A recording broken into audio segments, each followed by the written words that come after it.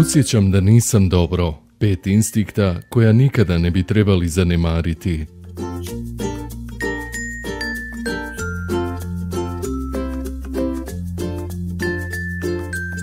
Jako je korisno čitati knjige o zakonu privlačnosti koje su napisali stručnjaci, prakticirati tehnike i proučavati uzbudljivu znanost koja stoji iza manifestacije. Međutim, ako ne odskočite iz ovog vrlo kognitivnog pristupa, riskirate uključiti um bez da angažirate srce. Konkretno, apsolutno je potrebno uskladiti se sa intuicijom, sposobnošću koja proizvodi instikte i osjećaje iz stomaka, ako želite primijetiti znakove iz svemira. U stvari, vaša intuicija je korisna i izvan rada sa zakonom privlačnosti. Razmotrite ovih pet osjećaja koje nikada ne biste trebali zanemariti. Zapitajte se kad ste ih osjetili, kakvo je to iskustvo bilo i kako možete učinkovitije iskoristiti te osjećaje.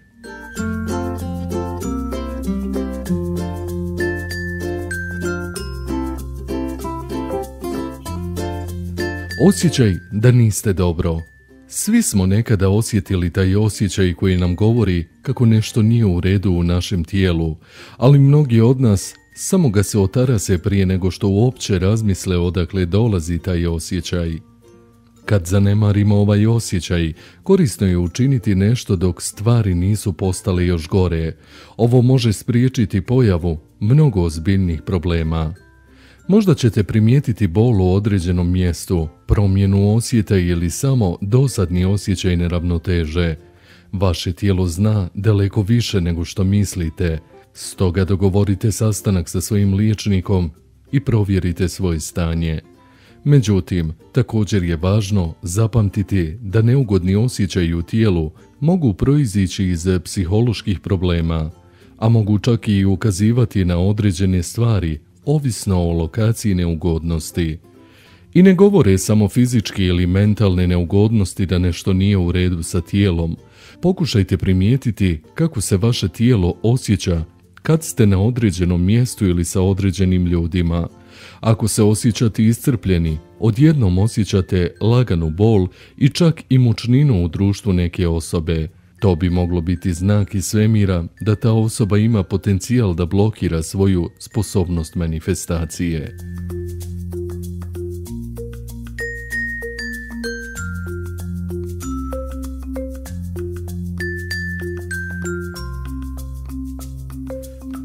Osjećaj opasnosti Iznenadni osjećaj opasnosti često vas može pogoditi iz vedra neba kad ste na putu za posao, kada susretnete nepoznatu osobu u trgovini ili šetate na jako osjetljivom mjestu koje nije očito opasno za vašu sigurnost. Bez obzira na to, kada se javlja osjećaj da ste u opasnosti, to je ozbiljna stvar, stoga pokušajte promijeniti svoju situaciju.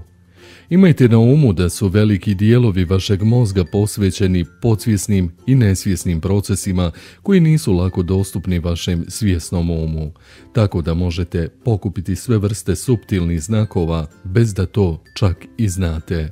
Primitivni dijelovi našeg mozga su nevjerovatno vješti u primjećivanju stvari koje su prijetnja našoj sigurnosti. Slušanje tih signala u najgorem slučaju će vas uznemiriti, a u najboljem slučaju moglo bi vam spasiti život.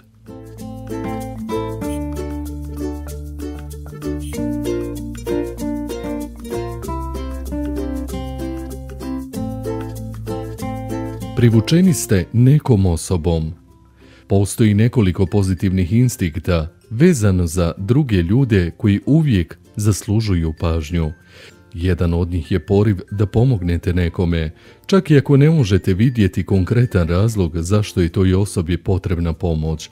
Možete primjećivati govor tijela ili druge pokazatelje energije koji ukazuju da je u nevolji. Ako upitate nekoga možete li mu pomoći na neki način, to je gesta koja vas ništa ne košta, a može napraviti veliku promjenu za tog pojedinca. U drugim slučajevima možda ćete samo automatski osjećati da neko može omogućiti ostvarenje vaših najvećih snova ili ciljeva Ta osoba može vam pomoći na putu do uspjeha u karijeri, biti potencijalni romantični partner ili jednostavno imati informacije koje će vas odvesti do iznenađujućih novih mogućnosti. Ako postoji takav osjećaj u vašem stomaku koji vam govori da trebate razgovarati s nekim, učinite to i promatrajte gdje vas to vodi.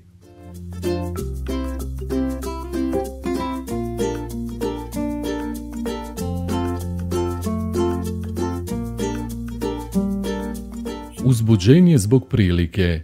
Svi smo primili puno poruka o tome šta smo u stanju postići, a mnogi od nas padaju u zamku očekivanja drugih ljudi. Rad sa zakonom privlačnosti uključuje pronalaženje i savladavanje odgovarajućih uvjerenja, a možete pomoći sami sebi tako što ćete povećati osjećaj strasti ili uzbuđenja koji izvire iz vas.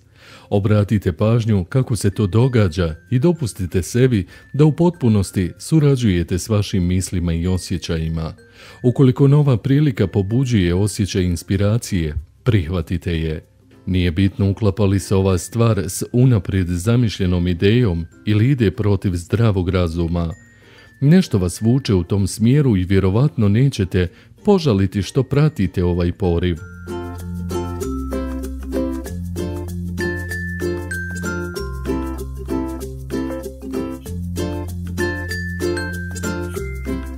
I pod pet, osjećaj ispravnosti. Ne odbacujte nagon da je nešto ispravno za vas, bez obzira koliko čudno ili nezgodno ili zastrašujuće je to bilo. Mnoge od neinspirativnijih priča o ljubavi i uspjehu počinju s jednim trenutkom i osjećajem ispravnosti koji je mogao biti zanemaren.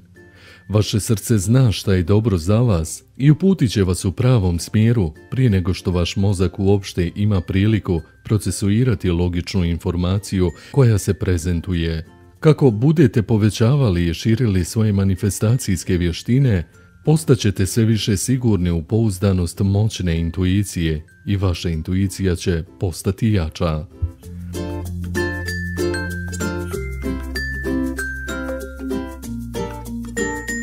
Tekst preuzet s portala atma.hr Obrada treća dimenzija.com Pretplatite se na naš kanal. Hvala vam.